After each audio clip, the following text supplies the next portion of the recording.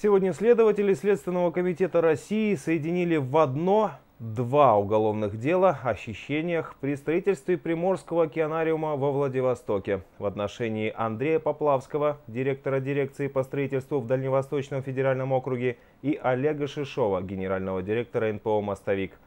По версии следствия, с марта 2010 по сентябрь 2014 года Шишов совместно с Поплавским и неустановленным следствием лицами похитили путем обмана бюджетные денежные средства в размере 1 миллиарда 982 миллионов рублей.